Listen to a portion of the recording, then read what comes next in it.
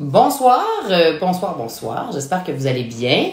Donc ce soir, on reçoit un invité que j'aime beaucoup. J'aurais aimé ça faire ça dehors, mais il y avait trop de bruit, donc je me suis euh, mis dans mon bureau. Salut Melissa. La conférence, ou en fait euh, l'entrevue va se passer en anglais. On va recevoir Austin Hope. Austin, qui est un super ami et qui travaille euh, avec ma grande amie Melissa. J'ai une belle histoire, je vais la dire, je vais la dire en français. Ah, ben Austin est là, donc je vais la dire en français-anglais. Ici. Après de minutes, vous allez pouvoir poser vos questions à Austin. Et puis, merci. Et puis, on va découvrir trois produits. Hello! How's Hello. it going? How are you?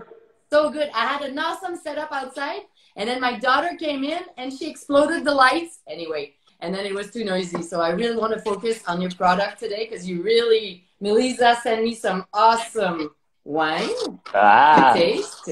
So I'm just, I showed it on Facebook, but I'm very excited to taste it with you. So here we go. So I don't know if you see it. So where are you? You're at the winery? I'm at my house now. I just got, but just got home. We was at the winery. Uh, we were uh, doing some blending today and um, getting uh, some wines put together. I'm working on a new label, trying to get that going, and then um, Really? Yeah, Like a, now I'm back a total new label? Like not Liberty School, not Treana, not Oak. It's going to be a different one? well, yeah, we've got uh, two we're working on right now. Can we have a hint of Well, what's the name or what's happening? uh, one of them is uh, we just finished. Uh, we made a Liberty School Reserve. oh, wow. And then we did. Um, we have a brand called Quest, which is in the market, but we've we've changed it. So now it's uh, Cabernet and uh, Cabernet Franc. So that's a. We just finishing up the label on that. Wow. Cabernet And, and uh, Cabernet Franc? I didn't Huh? know you, you had like great Cabernet Franc in Paso Robles. We do. We we we're, we've been planting and we've been uh, getting new vineyards, and um, so yeah, we're excited about it. Wow. Yeah. So is it like Bordeaux style or it's more It's it's it's it's rich. It's lush. It's it's uh it's it's along the style that we make of wines, but it's um uh yeah, it's it's very much it's Cab Franc. It's fifty percent Cabernet Franc and fifty percent uh, Cabernet. Wow? And what's going to be the price range on the Quebec market, sort of? Um, it'd be 30 yeah. in that range. Yep. Okay. So I'm just going to jump in before. So we have like 15, 20 minutes together. I think it's Okay. your first live that you're doing. So thanks for giving me that opportunity. Uh, everybody is saying hi. If they do have questions, sometimes it's not that I'm not listening. I'm just reading the comments. All right. Um, I'm going to go through the wines one by one, asking questions. And obviously, people that doesn't know that we know each other for 20 years now. That's crazy, huh? you had a diaper on. I think I think we both look younger now. Oh my God. It's totally, yeah. We've been working so hard. Um, you're having like a, a great message here. Great to see you, brother. Um, Hey. so just basically, you know that story, but people doesn't know it. Back in the days when I was in my early 20s, I was working in a restaurant called Toqué, which is still, you know, one of the best restaurants up to that day. And the top wines, you know, that we serve all the time, constantly, I'm not kidding, was Liberty School Cabernet. I think you just purchased it. When did you purchase the brand from Chuck Wagner from Caymus? Uh, would have been uh, 95. In 95. So it was in your hand. You were extremely young at the time. Uh, Yeah. And Liberty School was a massive, massive hit. So I'm just going to jump in. And this is when we met because I work at La Céleste Leveux with Charles Goyer. Yeah, yeah. For yeah. those who doesn't know Charles, he's a wonderful man. He's the dad of the great singer. We know uh, Charlotte Cardin when she was a baby. Yep. So let's jump right in your universe. Uh, we're gonna taste that Chardonnay that I'm purchasing often personally. Hey, I love it. I love this Chardonnay. Uh, I also have a question. The first question that people were asking is I love Chardonnay, but I'm not sure about the content of sugar. Can you explain why there's a bit of residual sugar? There's not plenty. It's 5.8, I believe, in the Yeah. Chardonnay. I don't know. So the, the so it's funny to me because um, uh, Canada and especially in uh, uh, Quebec, Yeah. it's uh, they're always very very curious on sugar. So to me, this is a dry wine. We consider this a dry wine, um, and you know we when we ferment the grapes, sometimes. Um, sometimes they don't go all the way dry. Like, I mean, I don't, there's very few wines that would be considered dry, dry. Like, uh, would have to be like uh, zero five would be like considered dry. So um, to me, it uh, when you have just a, a, a little bit of uh, reducing sugar that's left, um, it, it, gives a it gives a better sensation to the mouth feel, right? It makes it Very. makes it feel a little more lush and uh, without being um, lush from like oak, you know, because a lot of times oak can do that when it gives you that kind of that weighty feeling, but just a just a slight slight little bit left over, and um, and you know it's it's pretty common, really. I mean, most most of the wines you'll see up there are in that in that range. But basically, it's natural sugar, so people understand. Oh, absolutely. yeah, yeah, yeah. It's from the grape. It's so it's not it's not. Uh, and that that's why it's so confusing to me that that that uh, the market always talks about the sugar because sugar obviously everybody knows uh, you know white sugar it's they call it white death right it's, it's, I know. it's really bad for you manufactured sugar but natural sugars that come from fruit there, there's nothing wrong with it and your body processes it and there's there's not a problem so it's a it's a whole different conversation then so that's why i've always been confused of why it matters you know totally well it's because two things in quebec uh, a lot of critiques you know wine critiques were writing about sugar content saying it's really bad a lot of American are adding sugar. Uh, it's like a sangria sort of thing. So yeah. in the head, and a lot of people are doing the keto, you know, diet and stuff. So they're looking at the sugar content. So they they think that they may be able to drink a little more wine. I'm just gonna lower my volume. Do you hear me properly? Yes. Okay. So basically that's first thing. And then I was talking with a like a specialist on that matter and he said that it doesn't matter about the sugar content at all. It's equal, like it, when you chew a gum, it's about the same amount of sugar. So it's the amount of alcohol you're taking that's really the problem. But for some reason, because expert told the, the public here, everybody is like not digging the Chardonnay, which for me, I'm just going to go through. Uh, I think it's amazing. Liberty School is always stable. It's just a bunch of fruit. It's explosive, but very refined at the same time. So you have that mouth feel of dry wine. For me too, it's a dry wine, but fruity, which is the difference between fruit and sugar. And the color is beautiful. So it which kind of oak you're using? Do you use American or French oak? So we use both. And what's what I like about this wine is that um, it's it's not uh, we use about uh, anywhere between 30 40 percent uh, will be uh, fermented in barrels and left mm-hmm. in the mm-hmm. lees. But the barrels are uh, very few or new, so they're they're one and two years used, so they don't okay. impart a lot of oak flavor. Um, and then the other the balance of it we do in uh, fermentation in stainless steel. And what that does is it um, it allows you to um, actually have the fruit flavors of Chardonnay. So often Chardonnay is covered up by wood, and you really don't know what Chardonnay yeah. fruit flavors taste like. So to me, it's got a little bit of wood, but more it's it's more the fruit of what Chardonnay actually smells and tastes like. Oh, and right now, you know, it's bloody hot outside. It's just perfect. You serve it cold, but not too cold. Me, I like my wine, especially white, to be like a little bit not room temperature, but not too cold because I want to feel, you know, like the mouth feel and the whole uh, taste of it. And for me, the nose is beautiful. It's stable. It's not even twenty dollars. It's extremely well done. So it might as well be free. It's, it's free basically. It's a, it's, it's, free. Yeah. you, it, it is free. Cheers to that. it's true. But wow, what a bunch of explosive fruit! And the first time I tasted it, because after I went to work in Chicago and we had your product and it was extremely popular also. So you managed to pull this off, to take it over. Check. How come you took the brand from Chuck? What happened then?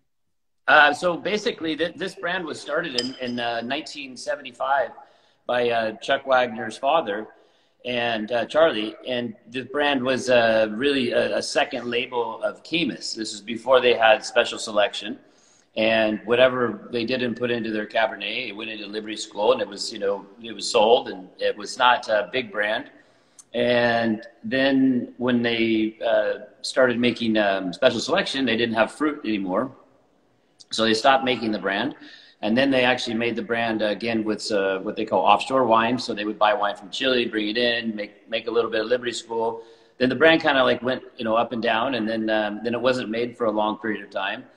And then um, uh, Chuck Wagner came to Paso and he tasted some uh, bulk wines that we, we had on the market for sale. And he, he said, uh, met us and he says, can you uh, supply a Cabernet for this brand. I want to try and bring it back out. And we said, yeah, we can do that. And then pretty soon we started making it in Paso Robles. Then we were bottling it in Paso Robles. And then as our relationship grew, I moved to Napa. I started working for Chuck on a bunch of different projects. And, um, and then from there, he said, we, we kind of had, we had a meeting together and we said, uh, why don't we take the brand over, bring it to Paso, give it a sense of place and see what we can do with the brand. So that's in 95, we, we moved it into Paso, built a building for it uh, winery just for it. And then um, we, because my family, we, we wanted to start a, another brand, which was uh, Treana. And then we away we went, right? And uh, my uncle was actually supposed to be uh, lead it because my father didn't really want to be in the wine business. Um, and my uncle passed away tragically right when we were signing the paperwork. And so, and I was very young at the time, as you said earlier, so I had to um, uh, my father asked me and Chuck asked me, "Is this something you want to do? Is this something you can do?" And uh, luckily, I was young and dumb, and and I said, "Yeah, yeah, I do this. It's no big deal, right?" And um, so I was like, I think I was, I don't know, 23 or something, 22 or 23. Um, and so away we went. And I hired a salesperson, and um, and uh, and and I brought Jesse, which who I grew up hoeing weeds with in the vineyard, and said, "Come on, man, you're going to learn to make wine." And that's we didn't look back. So then started Treana in 96 and so on and so on. So. So Treana was right after. So you pulled this off and let's move to, to Treana. Uh, I see a lot of people uh, logging in. You have Robert saying hi. He says, it's nice to see you again. So maybe you, you had a few drinks with Robert somehow. what a great story it is, Nora. And Caymus is such a beautiful wine. And it was such a, you know, when we met, 20 years ago. Yeah. I, I saw Rocco DiSpirito from New York, a great chef, logging in also. That yeah. I also made, well, I met Rocco 20 years from now, so at the same time as you. So it's fun because now it's all connected. And instead of looking older, well, I, I hope wine is keeping us like young and fresh and whatever. so Treana, if you created the brand in 96, just to refresh my memory, what does it mean, Treana? Is it like the earth the soil and the water? Or oh, close. You almost had it. You missed the last one. The sea, sun, and soil. Ow! it's so, because of the French part. yeah, so it's a it's a Spanish a Spanish word that means a trio of natural elements. So we use the oh, wow. sea, the sun, and the, and the soil because the soil is so unique in Paso Robles, and the sun is because we have California sunshine, so we're always able to get um, our our grapes ripe every year. We don't yes. have issues with weather and um, and the hmm. sea because of the proximity to the ocean. So we have a very much a maritime influence in this area because we're warm in the day, so it's you know it's 90 degrees outside, and then by in the morning it'll be um, it'll be 50 degrees Fahrenheit. So we have these big temperature swings because we're so close to the ocean it pulls pulls in the marine air every afternoon and, and like it's already starting like it's starting to get windy and you can feel the, the, the cooler air is mm-hmm. coming from the ocean because we're only about 18 18 uh, miles from uh, wow i didn't know that yeah. i remember being very very hot like the temperature during the day yeah during and you said that the soil is special what about the soil just so we understand the impact of the soil what what makes treana better than let's say another one um, well, I think uh, so. We, we, we specialize in um, Cabernet, and, and, we, we know where the best Cabernet soils are within Paso Robles, and they're they're um, they're they're uh, well drained. They're they're um, they're uh, they're not heavy soils, um, and there's pockets of them throughout Paso Robles. I mean, so we've studied the soils and the, the and the weather patterns in Paso, and the most unique thing about Paso is it, is its, its diversity, right? So we can mm-hmm. grow we can grow Syrah that tastes like uh, Northern Rhone Côte Rôtie, or we can grow Syrah that tastes like uh, Shiraz with the bubblegummy fruit and the bright, you know, flavors like that. Uh, we can grow Cabernet in areas that taste like right bank, and we can grow Cabernet that tastes like left bank, just by different soil sites and different uh, temperatures within our little region. Um, but you know, we do have an underlying um, um, vein uh, in most of the most of the region with uh, limestone, calcareous calcareous soils and so those are those help help to add texture, I, I believe, to the to okay. The wines. And basically, you're you're sort of the king of the grape. Is it for you Syrah or Cabernet? Because I remember having lots of discussion with you about Syrah. So I'm just curious for you, Austin O. Do you prefer Syrah or Cabernet? No, I can't. I can't say. That's why. That's why Treana started. So, so Treana Red, which you don't that you don't have. This is the Treana Cabernet, which we started in 2015. Yeah. Um, but the Treana Red was what we started in 1996. And that wine is Cabernet and Syrah. So I know. There you go. There's my two favorite varietals. That's why I was asking you like a long time ago. Why? Because for me, uh, well, Paso was all about Cabernet. And you made me discover the Syrah because I'm a fan of Syrah from the Rhone Valley, like And I'm a real fan.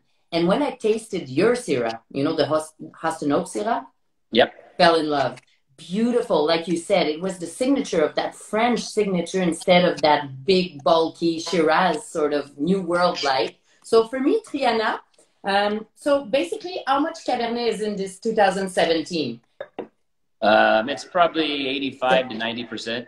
So it's mostly Cabernet Sauvignon, oh, yeah, then a sure. part of Merlot. And do you put Cab Franc in it also? No Cab Franc in there. There's uh, there's probably some Merlot, a little Petit Verdot. I can't remember what all we put no, in. No, I remember Cab Sauvignon and Merlot, which is the base all all the time, pretty much. But usually, for those who know Bordeaux, it's really like a Bordeaux blend from 2009. So what I'm saying is that you have that sort of explosion of sunshine in it. Uh, the color, okay, is yeah, very pretty, like dense. You see that there's a lot of power in that wine, and that's why I'm super excited for you to talk about the difference between your Cab and Treana, because you have like you double the price right there. So for me, what I really like, Bordeaux is sometimes you know like Closed. tight. You Yeah, need to tight. wait. It takes time. You don't have that lush fruit instead of, you know, like the 2009 vintage, 2010 was more classic. But you do have an explosion of fruit, but at the same time, that particular smell of cab that I really like. Um, it's very gamey in a way of like density, vegetal, not green, like very cab. You Yeah, know, if I put my nose classic. to it, I know where we are. Mm. But you're making it's not because I like you, it's not because the wine always talks. You know, my face when I taste. And sometimes I feel that some Cabernet or some blends are way too overpowering. Too much alcohol, too much, too much of everything, and your mouth is dying. Yep. This is fresh. This is almost light for a cab. Like I mean, it's it's like this. It opens up. You eat it with a piece of steak, and you're in heaven. It's extremely well done. Thirty-five dollars. It's very, very, very good, and it's gonna stay for a long time. I believe so. Yeah. So you had Very good. 91 from I don't know who, wine enthusiast. Yeah, I would give you much more than that. Me too. I think so. Thank you. Ah, so come on, you know. And uh, we're gonna finish with your star, which is yourself. Myself. I know. It's very, very, very weird, isn't it? I don't know. It makes me feel funny. I like it, and I like the fact, you know, like your your wife Celeste. She's all about, you know, like photography. She's a beautiful lady. Um, I was surprised at the label, how discreet it is, and at the same time very noble. Not surprised because you are, but very elegant. And you know, in time, you know, the first thing I said, if I put that in my cellar, and 30, 40 years from now, I take that bottle out, I would feel privileged. I just Yeah. feel it's very, I don't know, it's very elegant. I love it. Thank and then you. You're talking about the passage. You know, it's I didn't know that paso robles mean like the the pathway. You know, like going through oak. That's Yep. it. Yep. I didn't know that. Yeah.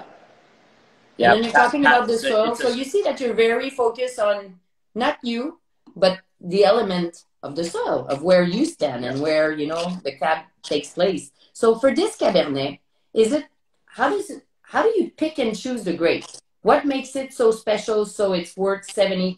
The, yeah, the bottle is beautiful. Marie is saying that. Est-ce que c'est de la grenache? Non. France, c'est du Cabernet à 100%. Donc, ce que je disais, I'm just going to talk in French for Ah, one second. Euh, le chardonnay est à 20, un petit peu moins de 20 dollars. Et puis, euh, c'est vraiment là, tu sais, pour ceux qui s'inquiètent pour le sucre, oubliez ça, c'est le sucre du fruit parce qu'il y a un beau soleil. C'est magnifique et très bien fait. Triana, comme Elisa dit, c'est une spécialité qui est à la SAQ. Donc, vous pouvez le trouver. J'ai vu qu'il était quand même assez disponible à 35 dollars. C'est fait euh, de Cabernet et de Merlot. Et celui-ci, c'est pas de la grenache, c'est vraiment 100% Cabernet. Et c'est 69 dollars et des poussières. Donc, presque 70 dollars. Si vous avez d'autres questions en français, ça me faire plaisir de répondre. So, what about your French course? Can you translate what I said? Yeah. You're so sexy when you speak French, you know? I tell you. You're like this. It's like, it's funny. I like that Melissa. Melissa, she's such a beast. She's on the ball. Thanks for answering the question. So, me, I never tasted it. So, it's new for me. I did not put it in a decanter because I want that power. I want, you know, like the real stuff. So, just walk me through. When did you create it for the first time and why? So, 2015 was the first vintage. But prior to that, it was basically uh, being worked on for about seven years. So my, my nobody really knew the brand was being being built.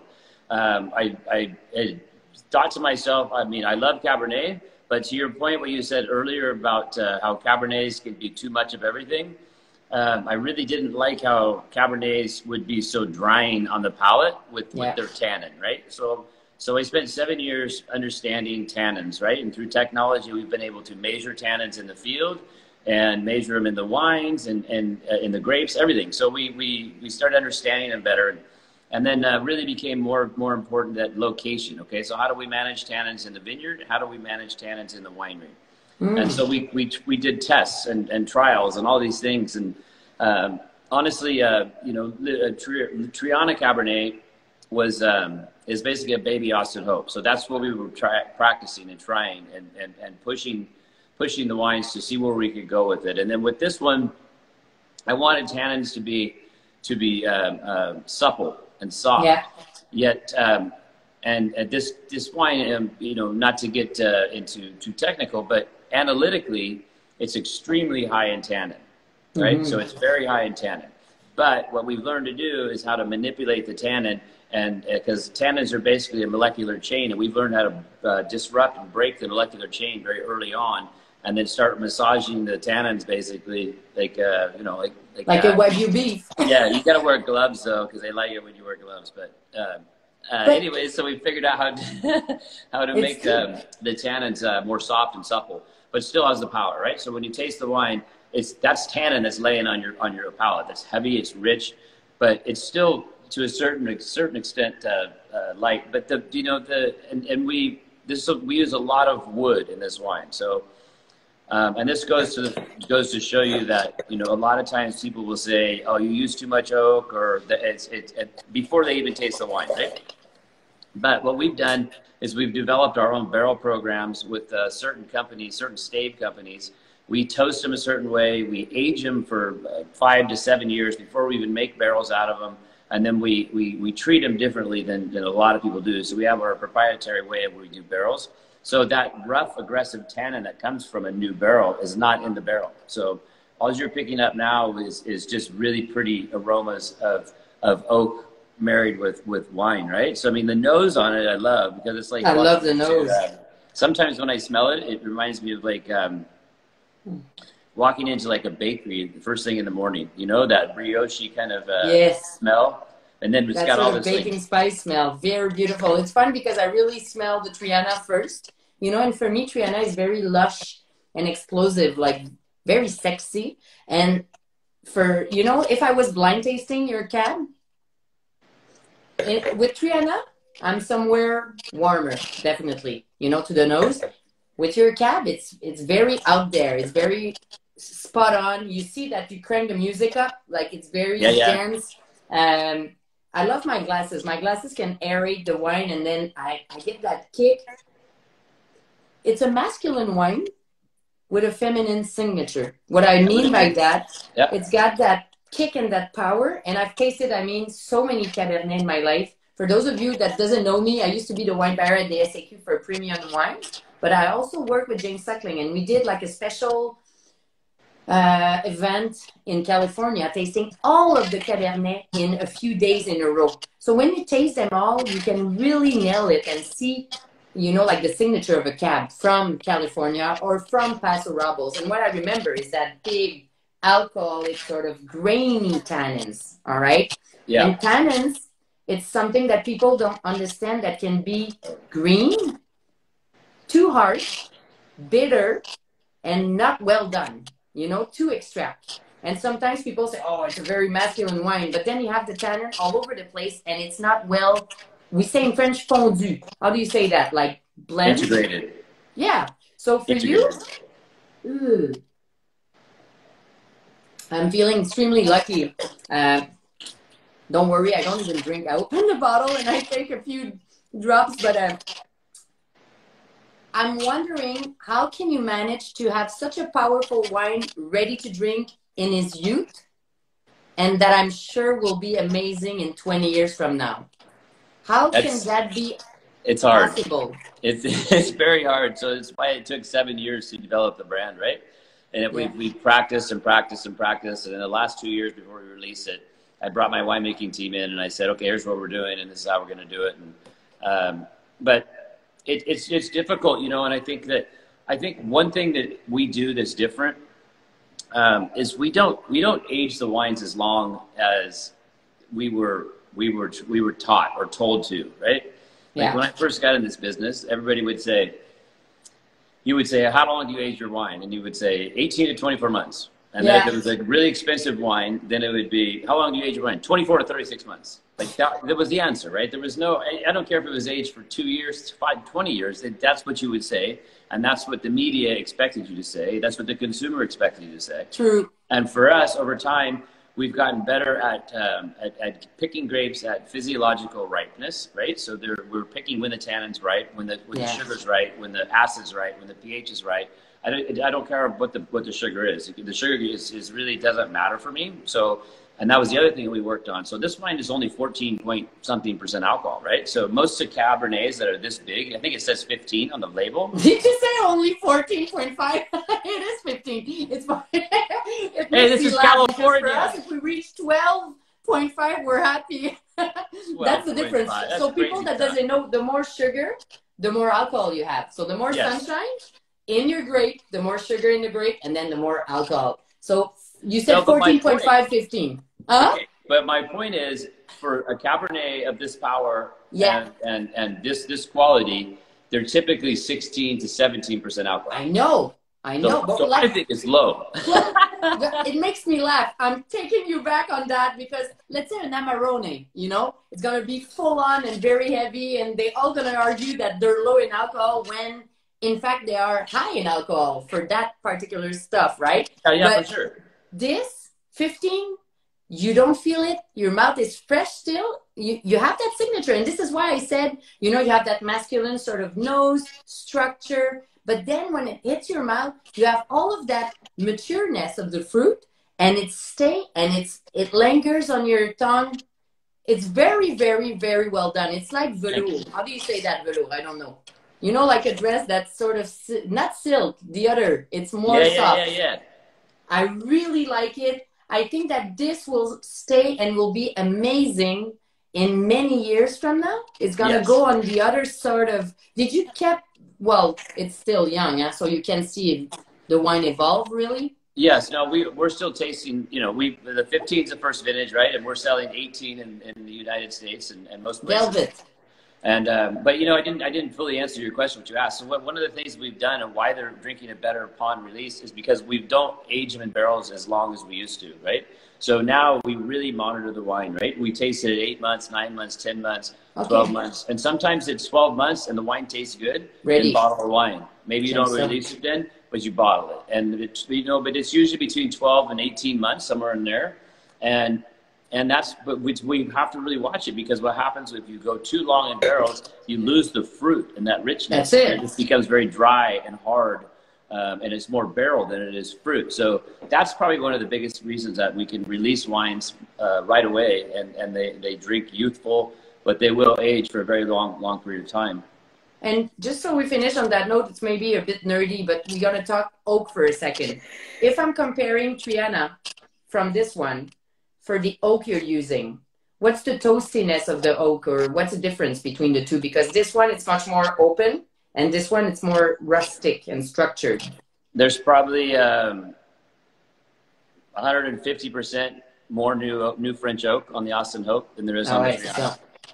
Yeah, and and the toastiness we um, we we generally well so we, we I, I don't know what they would be. I guess other people would maybe call medium plus, something like that. But we've developed our own toast, so I don't um, that uh, with the temperature at, at a certain time for a certain time period. Um, so we've basically essentially created our own toast, but I think people would probably say medium plus, something like that, maybe. Medium But when plus. you're saying that you're you have your own toasting, you're making it at the winery, or you're asking the no, French we guys? have uh, we have two two places, one in Spain and um, and then um, another in France. That and uh, we have worked with the companies that we have told them this is how we want the barrels to be toasted. This is how long we want it to be toasted. This is the kind of oak we want to use. Um, this is how we want you to to uh, bend the staves. We don't want we want them water bent, not steam bent, not heat. Like we have very very strict protocols. And then on the toasting side, we tell them exactly how to do it, whether and we whether we burn with wood or whether you burn with gas, and like it's all very. It's and at the end of the day, I a know it's barrel. very scientific, but It's but- crazy. People don't understand the differences between, you know, like you have that chips fake fake taste of oak, well, like a tea bag, you know, that you infuse the wine with it. Uh, you have big barrels that you can have like brand new that cost a lot of money. Big big barrels or smaller barrels, but just so people can understand how expensive it is. How much do you pay an average small barrel? Oh, they're uh, they're between uh, twelve hundred and fifteen hundred dollars US. That's insane. It's crazy. When you It's really crazy. change your life and make wood barrel. I'm thinking. I think we should have our own. I know. It's You know, great. Vega Sicilia is doing it. They're Yeah, doing I their own barrels. Yeah, we'll get we'll get JC to start making it. Yeah, JC would do anything. He always needs new projects. amazing for me to think. And people were asking, like, oh, how come wines? You know the differences in price.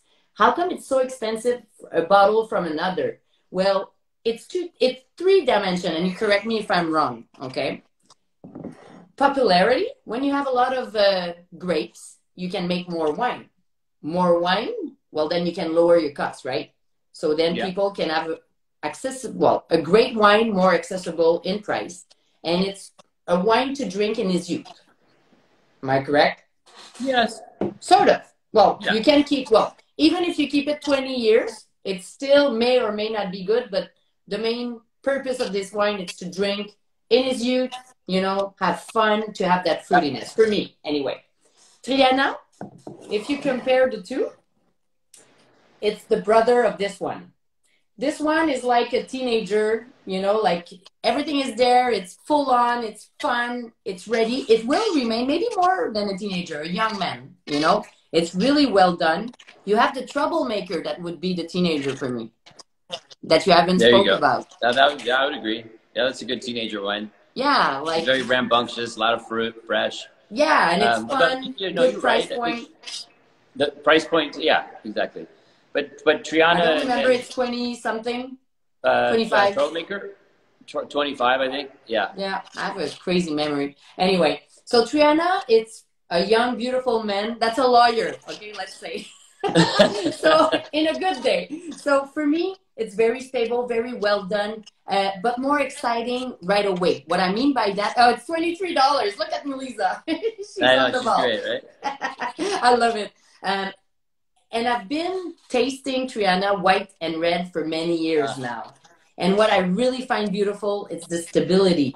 You know, it's always good compared to other places where you can have like a big wow one one year and then the second year is just like mm. so Yeah. I love Treana. It's a must. It's something that for $35 I would easily pay 50 myself and I would be extremely happy.